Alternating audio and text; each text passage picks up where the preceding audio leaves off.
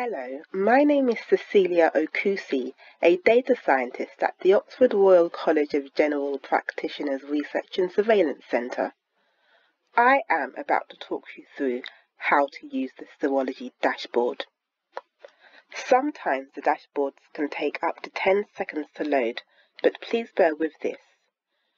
Google Chrome is the optimal browser to use the dashboards. From the Clinical Informatics homepage, I have clicked into my practice dashboard and gone into the individual serology dashboard page.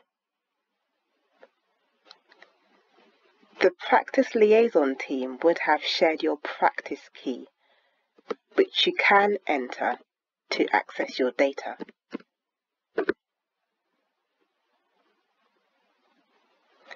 The first section of the dashboard presents the percentage of serology samples that were matched and coded this week for your practice and for the network.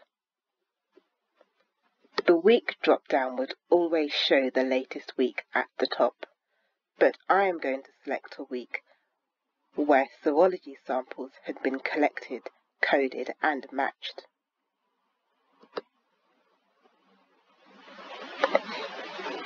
If you hover over the individual bars, you can see additional information. So we can see the number of serology samples that were collected and either matched and coded, as well as the percentages. We have also included a performance indicator which will show how well your practice is doing in serology sample collection on a weekly basis. The next section of the dashboard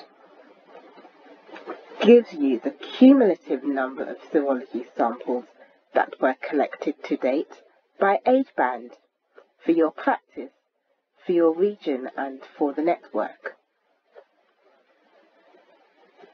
The table above also provides an indication of the age bands which the program was likely to either continue with collection in green, to reduce sample collection in amber, and either to stop sample collection in red, where you have already collected enough samples for these age bands.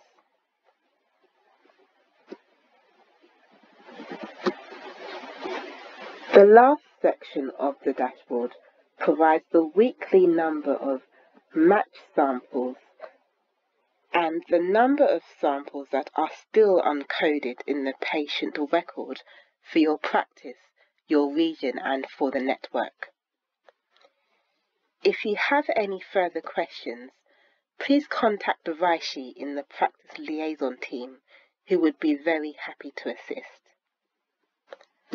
At the top of the dashboard, we have also included further links for further information. And that's it from me. Thank you very much.